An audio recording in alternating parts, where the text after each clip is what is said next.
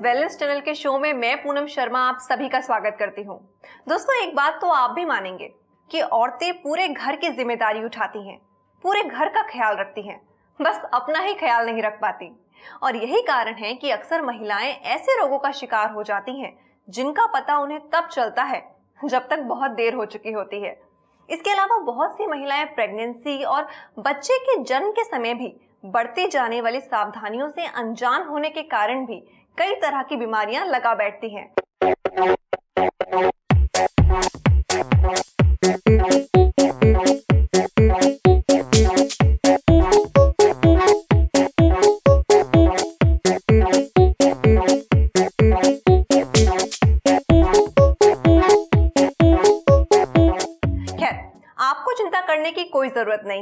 क्योंकि अब wellness channel ने आप महिलाओं की स्वास्थ्य संबंधी ज़िम्मेदारी का बीड़ा उठाने का फैसला किया है।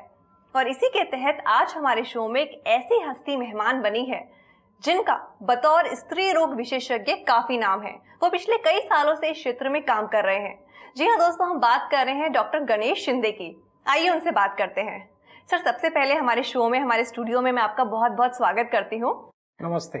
सर सबसे पहले आपसे ये जानना चाहेंगे जैसे कि जो फीमेल बेबी बॉर्न होती है तो कई बार देखा जाता है कि उनके जेनेटिक अंग में अ, कुछ कंफ्यूजन होता है। पता नहीं चलता कि प्रॉपरली मेल है या फीमेल है तो इस तरह के कंफ्यूजन को कैसे दूर किया जा सकता है? पूनम जी आपने बिल्कुल सही बताया। है क्या होता है जब जेनेटेलिया में अगर पता नहीं चलता है कि ये मेल है कि फीमेल है तो एक बहुत it's a jolt to the family ji. और कई बार इवन मेडिकल फ्रैटर्निटी को वो उतना आसान नहीं होता है। यहाँ तक कि हम लोग सावधानी बरतते हैं कि इमीडिएटली हम सेक्स को डिक्लेयर नहीं करते कि नहीं ये फीमेल है या मेल है। अगर हम ऐसा करते हैं तो बहुत बड़ी गलती करते हैं। तो हम कुछ समय जाने देते हैं हम हमारे और भी दूसरे ब्रांच की मदद लेते हैं। अक्सर कभी कभी हम उनका खून का टेस्ट करते हैं वो बच्चे का। और बच्चे में एक कैरियोटाइप जैसा होता है। अगर एक्स एक्स है कैरियोटाइप में आता है तो जेनेटिकली या जीनोटाइप से वो फीमेल फीमेल हो जाती है। और एक्स वाई आता है तो जीनोटाइप से वो मेल मेल हो हो जाती जाती है। अगर समझो ये डिलीवरी घर में होती है और ये बच्चा अगर बढ़ता है तो अपने अंडरस्टैंडिंग से माँ बाप वो बच्चे की परवरिश करते हैं। बिल्कुल। हालाँकि वो हो सकता है कि वो फीमेल है असल में जीनोटाइप से लेकिन उनको लगता है कि ये मेल का जेनेटाइप जी है। जानकारी के अभाव में तो वो हिसाब से वो बच्चे का संगोपन हो जाता है यहाँ तक बच्चा अपने आप को मेल महसूस करता है। तो ये बड़ी very challenging very complex situation हो जाती है। और फिर इसका हम आगे चल के इसको स्पेशल टेस्ट के ज़रिए हम इतनी सावधानी बरतने के बाद हम डिक्लेयर करते हैं कि असल में मेल है या फीमेल है। अगर कुछ करेक्टिव सर्जरी की ज़रूरत है तो फिर हम वो हिसाब से अगली स्टेप लेते हैं। ओके उसके हिसाब से आप फिर सर्जरी भी करते correct. जी। हाँ सर एक बात आपसे और जानना चाहते हैं कि इस तरह के जो फीमेल बेबी बॉर्न होते हैं अ, क्या उनमें मेंसेस या ब्लीडिंग की भी कुछ अ, इस तरह की प्रॉब्लम होती है? अक्सर पहले हफ़्ते में पहले सात आठ दस दिन में क्या होता है मदर का खून बेबी में रहता है। जी। और उसी मात्रा में मदर में एस्ट्रोजन ज़्यादा रहते हैं जब वो प्रेग्नेंट होती है। तो ये बच्चे में जाता है और फिर जब नाभि या वो कनेक्शन नहीं रहता है तो ये एस्ट्रोजन शीघ्र से गिर जाते हैं। ओके और ये एस्ट्रोजन जब गिरते हैं तब वो जो बच्चा होता है फीमेल बच्चा। उसके योनि से वो ब्लीडिंग दिखती है। वो ब्लड निकलता है yes but it is very scary यानी लोगों को लगता है कि अरे ये उम्र में इसको मेंसेस आ। गए क्या? एक्चुअली जो एडल्ट में जो मेंसेस की जो मैकेनिज्म है वो भी इसी तरह होती है। जब एस्ट्रोजन प्रोजेस्ट्रॉन का कम होता है तो ब्लीडिंग दिखती है। उसी को हम लोग मेंसेस करके संबोधित। करते हैं। तो ये एक्चुअली मेंसेस रहता है but this is a very short phase बाद में ये एवरी मंथ वगैरह नहीं रहता है। मतलब इससे घबराने की या परेशान होने की ज़रूरत नहीं होती। एब्सोल्युटली नो सर इसी रिगार्ड में हमें एक और वर्ड एक और टर्म सुनने को मिलता है जिसे प्यूबर्टी कहते हैं। सर ये क्या है? इसके बारे में कुछ बताइए। क्या इससे कुछ प्रॉब्लम्स भी हो सकते हैं? ये एक माइलस्टोन होता है। ये क्या होता है? चाइल्डहुड और एडल्ट हुड इसके बीच की फ़ेज़ होती। है ये ट्रांजिशन होता है जैसे कि वहाँ पर उनके ब्रेस्ट एनलार्जमेंट होना अपने नीचे के हिस्से में बाल आना एक्जिला में बाल आना जैसे अगर बॉय है तो उसको मुस्टैच आना। बियर्ड आना तो और फिर उसमें कुछ मेंटल चेंजेस भी आते हैं सेक्सुअल अराउजल भी होता है अपने आप को महसूस कर, करने चालू करती है वो। ज़्यादा मिरर के सामने खड़ा रहना खुद को देखना और इमेजिन करना तो ऑल दिस थिंग्स उनको मालूम नहीं रहते हैं। तो ऐसी अवस्था में जब वो जाते हैं उससे पहले फैमिली ने कोई फीमेल है तो उन्होंने उनको इसके बारे में थोड़ी सी जानकारी देनी Okay. चाहिए। एक्चुअली ये जानकारी आजकल स्कूल में से आती है अपने फैमिली से आए तो बेहतर है। दोस्तों से क्या होता है मिस नोशंस रॉन्ग कॉन्सेप्ट आ सकते हैं। और अक्सर देखा गया है कि ये जो प्यूबर्टी है ये शहरी जो जीवन की लड़कियाँ हैं उनको पहले आती है माहवारी और ग्रामीण भाग की जो है उनको थोड़ी लेट आती है। इसका एजुकेशन एक्सपोजर मीडिया इससे भी ताल्लुक है। मेंटल उनकी डेवलपमेंट कितनी है, उससे उसका ताल्लुक होता है।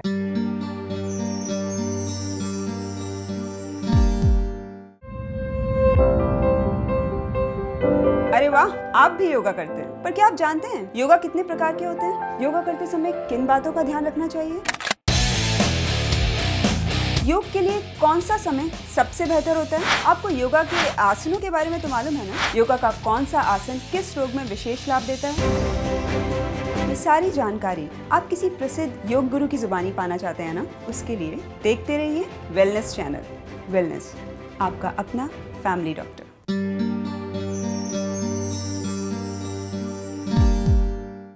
अक्सर देखा गया है कि सात साल की लड़की को भी प्यूबिक हेयर आए हैं। ब्रेस्ट एनलार्जमेंट हुई है और मेंसेस आए हैं। हालाँकि ये नॉर्मल नहीं है। इसको हम लोग प्रिकॉशस प्यूबर्टी बोलते हैं। ओके। यानी प्यूबर्टी नॉर्मली देखिए 11 साल 12 साल के बाद में आनी चाहिए।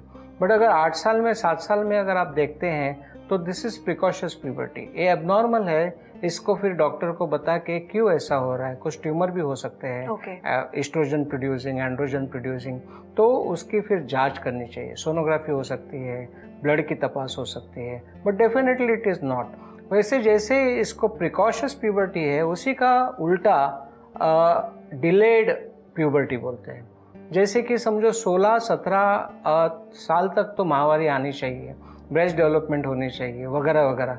तब तक भी अगर नहीं होती है तो then again we call it a delayed puberty इस इसके भी अपने आप में कारण होते हैं। अच्छी खुराक का ना होना या फिर यू नो एस्ट्रोजन जैसे ओवरीज है जैसे पुरुषों को आ, उनके स्क्रोटम में टेस्टिस होती है बैग में नीचे वैसे फीमेल्स को पेट के अंदर वो जैसे पुरुषों में होती है वैसे पेट के अंदर होती है उसको गोनाड्स या ओवरीज बोलते हैं। अगर ये ओवरी का होना ही नहीं है वहाँ पर तो उनको मेंसेस ही नहीं आएँगे। अक्सर कभी अगर वो जगह ही नहीं बनती है नीचे तो मेंसेस नहीं आएँगे। तो इसलिए अगर 16 साल तक अगर मेंसेस नहीं आते हैं तो चिंता का कारण है। उसके ऊपर हाथ पे हाथ थामे बैठना नहीं है। डॉक्टर को बता के उसकी जाँच करनी चाहिए कि भाई इसकी वजह क्या है। तो this is about your puberty but puberty अगर वो टाइम पे आती है शुरू के कुछ पाँच छः महीने तक मेंसेस इरेगुलर रहते हैं। तो इसमें डरने की बात नहीं है डॉक्टर को बताना चाहिए। जैसे जैसे उम्र बढ़ती है ये जो रिदम है अपने आप में सेट होता है और everything comes back to normal अगर बाद में भी नॉर्मल नहीं आता है तो फिर चिंता का विषय है डॉक्टर की बात है। सर एक और चीज़ मैं आपसे पूछना चाहूँगी। जो रिप्रोडक्टिव एज ग्रुप होता है ये क्या है? और गवर्नमेंट ने जो शादी के लिए ऑफिशियल एज रखी है जैसे लड़कियों के लिए 18 साल और लड़कों के लिए 21 साल इसके पीछे कोई स्पेशल रीज़न है? नहीं बिल्कुल रीज़न है ना इसके लिए कि क्या होता है 18 साल तक वो अपने आप में बढ़ रही होती है।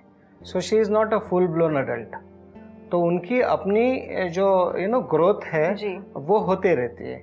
अभी अगर खुद की ग्रोथ हो रही है तो और एक बच्चे का ग्रोथ कैसे करेंगे? तो वो बर्डन आ जाएगा।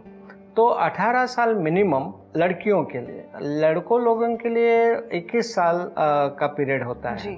So this is why government ने ये पीरियड को रखा है। तो अगर आप देखेंगे कि 18-20 साल के बाद से लेके 35 तक यानी एक 15 साल का पीरियड ये 15 साल का पीरियड को हम लोग रिप्रोडक्टिव एज ग्रुप group बोलते, बोलते हैं। हैं। हाँ हाँ सर एक और चीज़ आपसे पूछना चाहूँगी। एक वर्ड हम लोग सुनते हैं इनफर्टिलिटी सर ये क्या होता है और कैसे अ, किसी कपल को ये इनफर्टिलिटी की प्रॉब्लम हो सकती है? इसके बारे में कुछ बताइए। पूनम जी ये जो इनफर्टिलिटी होती है उसको हम लोग हिंदी में आई थिंक उसको वैंधत्व बोलते हैं। जी। यानी बच्चा होने में तकलीफ़। जी। आजकल क्या हो रहा है कि महँगाई एक तरफ़ करियर एम्बिशन उसके पीछे दौड़ना एक तरफ़ तो ये जो मैरिज का जो एज है जो पहले हम देखो 18 साल या 20 वो अभी 25 26 में एडवांस हो रहे हैं। फिर करियर फिर वो मेरी स्टडीज़ फिर कोई अच्छा जॉब फिर घर होना है ये होना है। तो अक्सर देखा गया है कि 28 30 तक ये नहीं होता। बाद में फिर इनफर्टिलिटी के शिकार हो सकते हैं। इनफर्टिलिटी हम जब बोलते हैं जब एक शादीशुदा कपल साथ में रह रहा है कोई प्रोटेक्शन नहीं यूज़ कर रहा है जैसे कॉन्डम है या गोली का सेवन उनको प्रेगनेंसी चाहिए। साथ में रहने के बाद जब कोशिश करने के बाद एक साल के भीतर उनको अगर प्रेगनेंसी नहीं रहती है तो ये कपल को हम लोग इनफर्टिलिटी का लेबल लगाते हैं। तो ये इनफर्टिलिटी के लिए हमको संभालना पड़ेगा। जैसे क्या होता है पोस्टपोन करेंगे करेंगे और बाद में पता चला कि हो ही नहीं रहा है। जी। लोग इसमें दो दो तीन तीन अबॉर्शन करते हैं। और जब बच्चा चाहिए तब होता नहीं होता ये। बड़ी शोकांतिका है। ऐसा नहीं होना चाहिए। इसलिए हर चीज़ समय पर ज़रूरी है। Absolute, उसके साथ Absolute, चलना चाहिए। Absolute, जी। Yes yes. सर uh, अभी आपसे फैमिली प्लानिंग के बारे में कुछ जानना चाहेंगे? अगर कोई कपल फैमिली प्लानिंग करना चाहता है तो किस तरह से उन्हें ये प्रोसेस करना चाहिए? पहले तो आ, हम दो हमारे दो ये तो नारा है ही है। आजकल तो हम दो हमारा एक। ये नारा चल रहा है।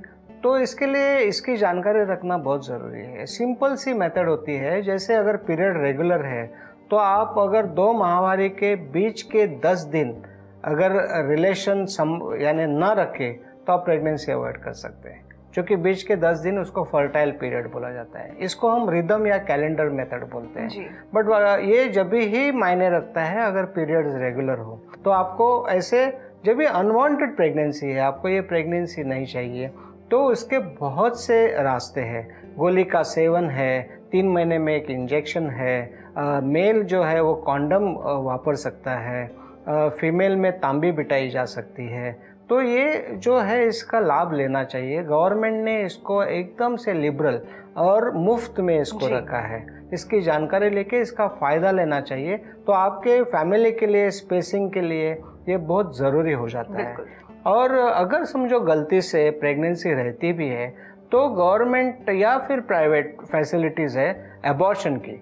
ये जो मान्यता सरकार मान्य जो सेंटर्स है और अच्छे डॉक्टर निष्णात डॉक्टरों द्वारा ये अबॉर्शन वगैरह कर लेना चाहिए जिसको हम मेडिकल टर्मिनेशन ऑफ़ प्रेगनेंसी बोलते हैं। तो अगर आपको वो बच्चा नहीं चाहिए फैमिली प्लानिंग मेथड करना है तो बहुत से उसमें उपाय है बहुत से रास्ते हैं बहुत से कारगर उपाय हैं इसके द्वारा फैमिली प्लानिंग की करेक्ट करेक्ट और काफ़ी बार अगर नसबंदी को जाना है तो नसबंदी भी है फीमेल में है पुरुष में भी है। अक्सर हमने देखा है कि एजुकेटेड क्लास जनरली पुरुष अपनी नसबंदी कर लेता है। हालाँकि साइंस में पुरुष की नसबंदी बहुत आसान होती है कॉम्प्लिकेशंस बहुत ही कम होते हैं। जी बिल्कुल सही कहा।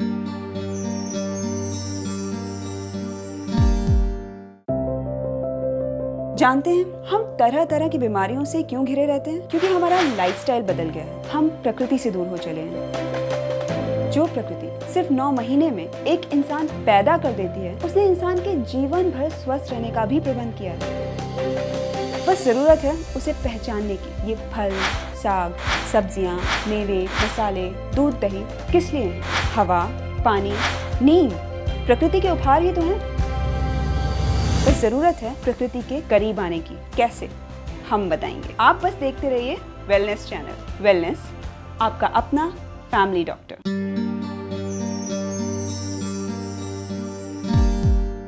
सर एक और चीज़ मैं आपसे पूछना चाहूँगी कि अभी आपने रिप्रोडक्टिव एज ग्रुप के बारे में हमें बताया। तो इस एज ग्रुप में जो फीमेल्स होती हैं उनको मेनली क्या प्रॉब्लम्स होती है? किन समस्याओं का उनको सामना करना पड़ता है? इसके बारे में कुछ बताइए। ये जो रिप्रोडक्टिव एज ग्रुप है जैसे मैंने कहा कि करीबन अट्ठाईस साल तीस साल के बाद फिर चालीस पैंतालीस साल तक जो होता है इसमें फीमेल्स को कुछ प्रॉब्लम डेफिनेटली आती है। जैसे कि सफ़ेद पानी जाना जी।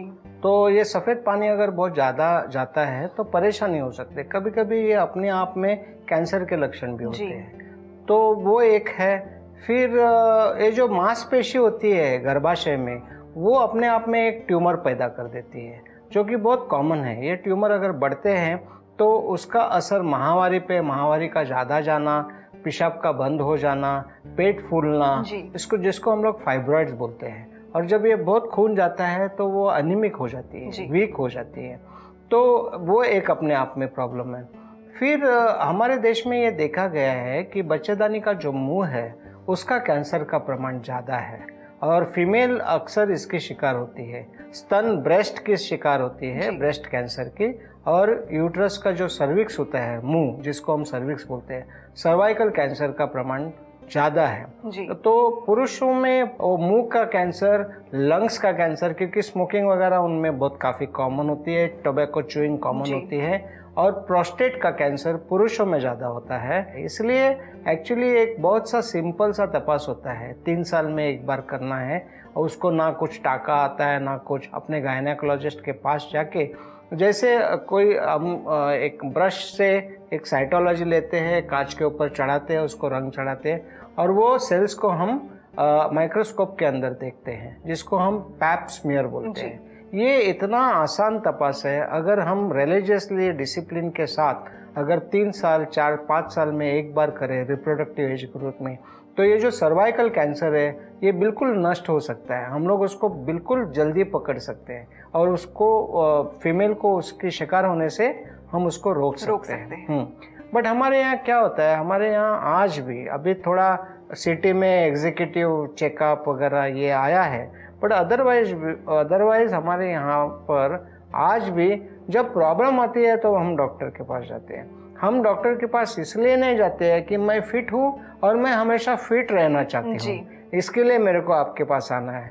हम सोचते हैं कि हम जब होगा तो फिर जाएँगे। तब देखा जाएगा। हाँ जब दांत दर्द होता है तो डेंटिस्ट के पास जाएँगे। प्रिकॉशन नहीं लेते हैं। करेक्ट करेक्ट प्रिवेंटिव जो होता है ना प्रिवेंटिव प्रिवेंटिव एस्पेक्ट है उसका शायद हमारे पास अभी भी अभाव है। अब देखिए ना स्मॉल पॉक्स जैसे वो चेचक देवी आज देखिए वर्ल्ड के मैप पे स्मॉल पॉक्स नहीं है। किसकी वजह से? क्योंकि वैक्सीन की वजह से। वो इरेडिकेट हो गई। पोलियो भी ऑलमोस्ट नहीं है। आज पोलियो अगर आता है तो नोटिफिकेशन हो जाता है। तो दिस इज़ प्रिवेंटिव ये अपने आप में एक वैक्सीन का करिश्मा है। तो हम लोग, हमारी कोशिश यही रहती है कि पॉजिटिव हेल्थ में आप रहे।